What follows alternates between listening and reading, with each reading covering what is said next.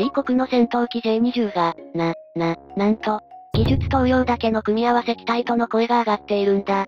どこ界隈でそんな声が上がってるのよ。しかも、C 国人だからこそ、コピー戦闘機を作るはず、という疑いの目も向けられているんだぜ。だから、どこ界隈なのよ。ということで今回は、中国 J20 戦闘機、いかに技術投用だけの組み合わせ機体であるかを検証し解説。中国人の思考に見えるコピー兵器の現実と限界、お送りするぜ。お願いね。ゆっくりしていってね。冒頭でも話したが、C 国の戦闘機が、他国の戦闘機のコピーなのではないか？という疑いの声が止まないんだ。ふむふむ。そこには、C 国人の思考に見える現実と限界が見え隠れしていて、面白いんだな。やっぱり面白がってるじゃないか。そんな C 国には、競合相手から設計や技術、さらには航空機体を投用してきた現実があるわけだ。C 国の歴史よね。ああ。そして、C 国初のステルス戦闘機 J20 も例外ではないんだぜ。あ、やっぱり？この J20 は米国以外では初のステルス戦闘機となり、1983年から34年間続いた米軍の低視認性機の独占を終わらせたとも言われているんだな。うんうん。そして、J20 が収益すると、米国とロシアでステルス戦闘機の設計を、C 国人民解放軍が盗んで収益を早めたと各国で非難する声が多く聞かれるようになるんだ。またまたあの習近平様がそんなことするわけないでしょ。しかし、J20 は他の第5世代ステルス戦闘機と比べても独創性を感じることなく、取ってつけたようなアンバランスなデザインの機体でもあるんだな。まあ、そこが C 国戦闘機の良いところだからね。全然良くないが、C 国は少なくとも3機種の戦闘機計画から、それぞれの要素を盗んで組み立てられた戦闘機を誕生させたのは事実だぜ。迷惑だ、ぜ。そんなわけで今回は、技術投用で実現した C 国の J20 戦闘機と、C 国人思考に見る現実と限界について考察したいと思うんだぜ。お願いね。さて、C 国の急速な軍拡と近代化は、大規模な経済的政治的努力の結果として実現したと言えるわけだ。ふむふむ。縁故採用や腐敗が蔓延していた C 国軍だが、今や770隻以上の艦船と高性能ミサイルシステムを保有し、多くは南シナ海全域の領有権の防衛に充てられ、太平洋で最強仮の軍事大国の一つになっているんだな。かっこ仮だけどね。そんな C 国軍が、驚くほど短期間で数多くのことを達成したのは否定できないわけだ。そりゃ、ねえ。また、C 国の防衛構想を詳しく見てみると、急速な進歩は貿易パートナーや友好国を含む、あらゆる方面から技術上の秘密を抜き取る、極めて大規模なスパイ活動にあったのは明らかなんだぜ。そりゃ、ねえ。つまり、C 国の軍事航空産業ほど、窃盗による進歩を生かした産業はないんだな。そりゃ、ねえって、そんなにパクってるんかい。まあ、例を挙げると、C 国空軍の戦闘機 J10 は、1980年代に C 国がイスラエルから購入した戦闘機ラビが原型になっているんだぜ。え？えしかも、ラビの機体は米空軍 F16 がベースになっているんだ。みんなパクりすぎでは？おまけに、J11 と J16 はいずれも C 国が1989年に購入した、ロシア当時ソ連のスホー E27 をベースにしているんだぜ。よくロシアもパクられると分かっていて、C 国に売ったわよね？確かに、ロシアはスホー E27 を C 国に売りたくなかったんだが、当時の絶望的な経済状況から C 国の手に渡ったんだな。ということは、今のウクライナ侵攻も、ロシアが絶望的な経済状況まで落ちれば、戦闘機を C 国に売るかもしれないわけだぜ。これはやばいわね。さて、現在、C 国の空母艦載戦闘機 J15 もロシアの戦闘機スホーイ33をベースにしているわけだが、当時のロシア政府は設計図提供を拒否していたんだな。ふむふむ。しかし、C 国政府はウクライナからこのスホーイ33の試作機を購入し、それをリバースエンジニアリングしたんだぜ。リバースウェーブ？それは、チャンピオンの名作スウェットだろ。ちなみにリバースエンジニアリングとは、ソフトウェアハードウェア製品の構造を分析し、製造方法や構成部品、動作などの技術情報を調査し、明らかにすることなんだぜ。なるほど勉強になりますそして、C 国は地球上最強の軍事大国米国と競合し、追い越すためには、迅速に能力を同水準にする必要があると理解したんだ。アメリカ強いからね。そこで、費用対効果が最も高い方法は、空母打撃軍の戦術や制空戦闘機の設計であれ、ゼロから始めるのではなく、すべてを盗むことに行き着いたんだぜ。行き着く先が最低すぎるでしょ。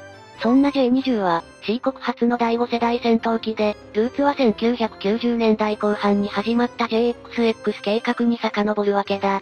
ほほう F22 ラプターの初飛行から約11年後の2008年に、J20 のプロジェクトが初の C 国ステルス戦闘機として、前進することが決まったんだが、その設計は2014年に大幅修正を受け、2017年に戦闘準備完了宣言で生産開始されたんだな。何があったのかしら？まあ、パク何かプロジェクトが前進するきっかけがあったんだろう。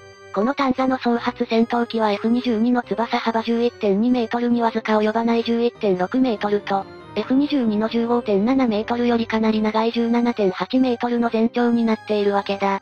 うんうん。しかし、当時から C 国は、WS15 と呼ばれる第5世代エンジンの導入に苦労していたんだぜ。技術力がないからね。ああ。その結果、現在の J20 は WS15 より水力が落ちるロシア製 AL31 エンジンか。最近ではこれをベースにした C 国国産の WS10C を搭載しているようなんだ。どれくらいの性能なのよ？最高速度はマッハに、航続距離は 2000km、最高高度は2万メートルで、中長距離ミサイルを4発搭載でき、胴体左右の小型の補助格納庫に短距離空対空ミサイルを2発搭載できるんだぜ。スペックは悪くないわね。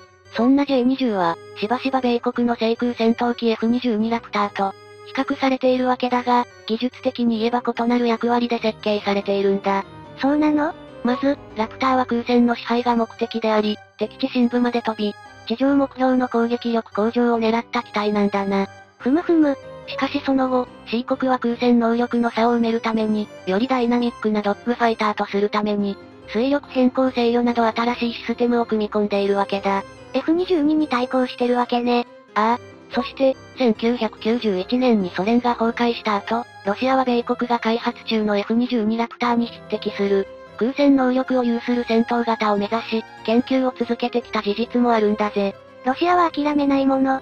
まあ、最終的にスホーイパクファが勝利し、スホーイ57フェロンに繋がったものの、ロシアは少なくともその他に2タイプのステルス戦闘機を検討していたわけだ。うんうん。それが前方走者翼のスホーイ47ベルクと、ミコヤンの MFI プログラムの第5世代ジェット戦闘機に、当たる実証機ミグ1.44だったんだぜ。なんだか、聞いたことがあるような？このミグ1.44は1999年に公開されたんだが、開発自体は1980年代から始まっていたんだ。そんなに前から？その後の1994年には、ミグ1.44試作機が地上試験を行ったんだが、当時のミコヤンの財政難から、それ以上の成熟化は不可能だったんだぜ。結局、どうなったのよ？最終的に、ミグ1.44試作機は2000年2月に実証飛行にこぎつけていて、スホー47の後方翼ほど奇抜なデザインではないものの、ミグ1.44はカナードを主翼前に配置し、C 国の J20 と非常によく似たレイアウトになっているわけだ。つまり、C 国かロシア、どっちかがパクリだと？その通りで、2016年10月、C 国は樹海航空省で J20 を正式発表しているんだが、数日後にロシア国営メディアが J20 を罵倒しているんだぜ。ロシア激おこね。さらにロシアメディアのタス通信も、J20 の記事を掲載して C 国の盗作について追随していたんだな。まあ、ロシアが言っているだけじゃ、ねえ？これが、注目したのはロシアだけではなかったんだぜ。イギリス国際戦略研究所の軍用機専門家ダグラス・バリーも当時、ロシアのミグ1.44と C 国の J20 の著しい類似性を非難していたからな。これは黒確定ですわ。そして、ロシアのミコヤンは J20 の公式発表のかなり前から、C 国のステルス戦闘機開発への支援を否定してきたわけだ。否定してきた？だが、もちろんこの発言は明らかな誤りだったんだな。なぜなら、ミコヤンは過去数年間、J7 となったミグ21のキットや部品、完成機を C 国に公然と販売していたんだぜ。売っとるやんけ。また、ミコヤンは1990年代後半に経営難に陥り、1999年にミグ1.44の公開前に経営陣が交代しているんだが、設計移転が行われた可能性もあるんだ。ほほう。特にミグ1.44の開発が見送られた後、資金繰りに窮していたのであれば、C 国に資金を求めるのは理にかなったことだろう。パクリっていうより、C 国はミコヤンの美力を含む部品や技術をお金で買ったのね。そういうことだ。そんな J20 とミグ1.44は非常によく似ているが、明らかに違っているところもあるんだぜ。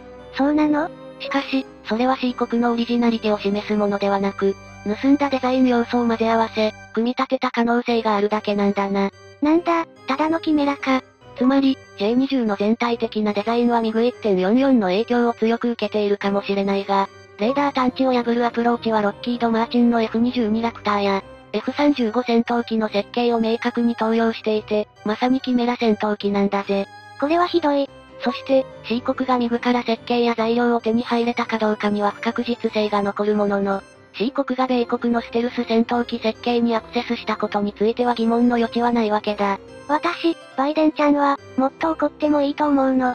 さて、2014年8月、カナダ在住の C 国人スティーブンスーは、C 国政府の指示でボーイングやロッキードといった米国の航空会社から、63万以上の動きファイルを盗み出すハッキング活動をしたとして逮捕されたわけだ。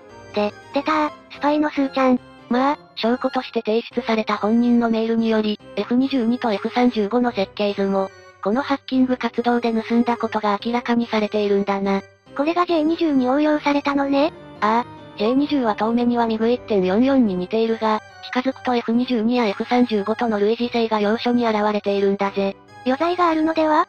確かに、C 国の歴史的な粘り強さは外国の航空機デザインを盗み、吸収することにあり、J20 はミグ1.44、F22、F35 のコピー、だけではない可能性が高いように思えるしな。むしろ、C 国のエンジニアが各種要素から好きなものを選んだだけなんじゃ？実はそのようで、J20 に続き、現在開発が進められているパクリ戦闘機があるんだぜ。なんそれ？それが、ステルス機、J31 なんだ。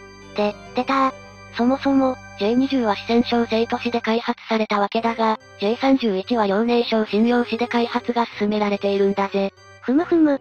開発場所が異なっていることもあり、外観や構造は大きく異なっているんだが、J31 は現在自衛隊でも導入が進められている米国の F35 に近い形状になっているわけだ。ええ？そうなの？まあ、というよりも、見た目も F35 と間違えそうなくらい酷似しているんだぜ。あ、パクリですね。さらに、体の型式番号が J20 番台から J30 番台に飛んだのも、F22 と F35 のようにわざわざ数字までも合わせてきたのかもしれないんだな。カツスキ、0。そして、J31 の大きな違いは、エンジンが1機ではなく2機になっている点なんだ。どうして増えたのかしら？これは、J20 同様にエンジンの水力不足で総発エンジン搭載と、なったからだと考えられているんだぜ。F35 をパクったからでは？そんな J31 は現在生産に向け進展しており、ロッキードの F35 にあまりにも酷似していることが、今後も世界中で疑問視されることだろうな。ノーマネーのおパクリ。何を言っているのか意味不明だが、以上のように、現在の C 国の戦闘機はロシア製と米国製のコピーが入り混じって運用される。ある意味で面白い構成の運用がなされているわけだ。これは面白いわね。今後、これらの C 国戦闘機はどう発展していくのか？おそらく今後も米国、ロシア、または EU 諸国や日本の開発機材に合わせ、コピーを続けていくつもりだと思われるんだぜ。手に入るものは盗めばよい一から苦労したくない。と考える C 国人の思考には、ドン引きだわ。本日のお話はここまでだぜ。よかったら、チャンネル登録高評価お願いしますね。それでは、皆さん、また次の動画でお会いしましょう。